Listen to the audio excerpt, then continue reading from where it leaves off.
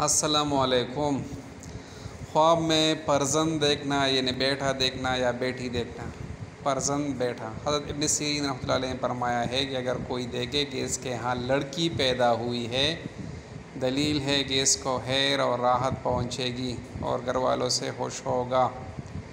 और अगर देखे लड़का पैदा हुआ है, दलील है कि लड़की पैदा होगी। और अगर लड़की देखे तो लड़का पैदा होगा। हज़रत जाबिर मगरबी रहमत ने फरमाया है, अगर ख्वाब में देखे कि इसका लड़का था और इसको कोई ले गया है, दलील है कि साहिब ख्वाब बीमार होगा। हज़रत इस्माईल रहमत ने फरमाया है कि अगर देखे कि इसने किसी जगह से लड़का पड़ा हुआ पाया है या इसको किसी ने दिया है, दलील है कि नाउमीद जगह से इसको कोई चीज़ मिलेगी।